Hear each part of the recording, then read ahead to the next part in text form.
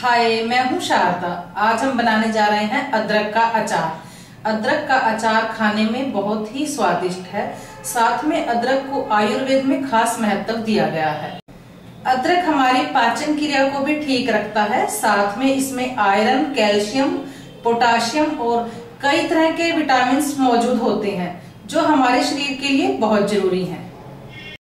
अदरक को हम सूखा व ताज़ा दोनों तरह से प्रयोग कर सकते हैं। और अगर हमें अचार डालना है तो उसके लिए हमें ताज़ा अदरक की ज़रूरत होती है।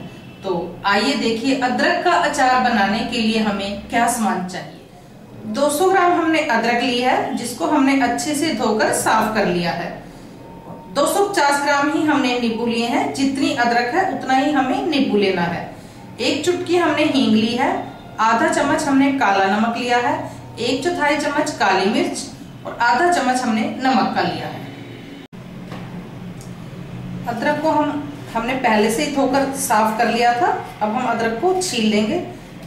चाकू की सहायता से इसको हम हल्का हल्का छील देंगे और इसका पतला पतला छिलका आसानी से उतर जाता है।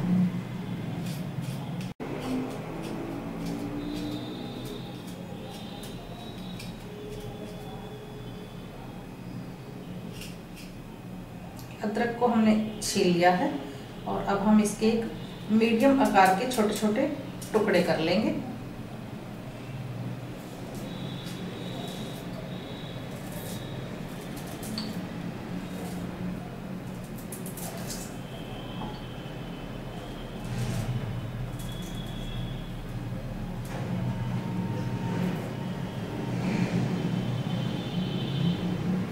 तरीके से हम इसके छोटे छोटे टुकड़े करते जाएँगे।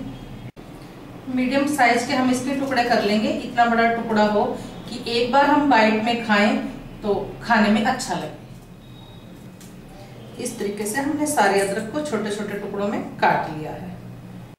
अदरक का अचार बनाने के लिए सबसे पहले हम नींबू का रस निकाल लेते हैं।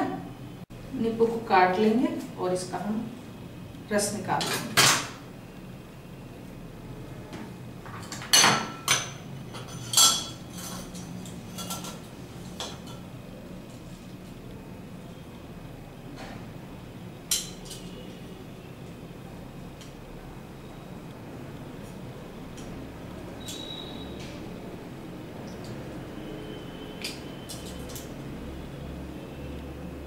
इस तरीके से हम सारे नींबू का रस निकाल लेंगे।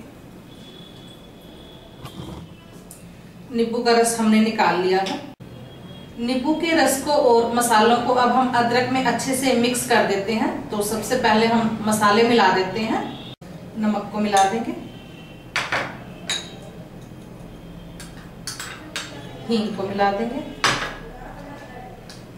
काली मिर्च पाउडर मिला देंगे और काला नमक मिला देंगे। और इसके साथ ही हम नींबू के रस को मिलाकर इसको खूब अच्छे से मिक्स कर देंगे। चम्मच से हम इसको खूब अच्छे से मिला देंगे।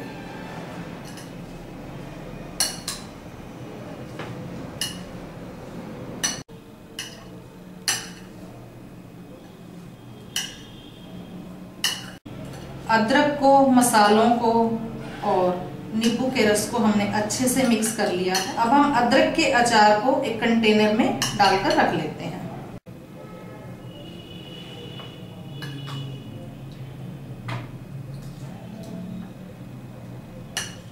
स्वादिष्ट अदरक का अचार हमारा बनकर तैयार हो गया है। अदरक का अचार बहुत दिन तक चलता है, लेकिन इसके लिए हमें थोड़ी सी सावधानी रखने की ज़रूरत है। जब भी अचार को कंटेनर में भरें, वो सूखा और साफ़ हो और जब भी अचार को खाने के लिए निकालें, जिस चम्मच से निकालें, वो भी सूखा और साफ़ हो और इसको सूखे और साफ़ हाथों से निकालें तो अचार बहुत दिन तक चलते हैं। अचार को सूखे और साफ़ कंटेनर में भरकर रखें। ये अचार करीब दो महीने तक खराब नहीं होते। अदरक के स्वादिष्ट अचार को बनाइए, खाइए और अपने अनुभव हमारे साथ शेयर कीजिए। एक बार फिर मिलते हैं एक नई रेसिपी के साथ।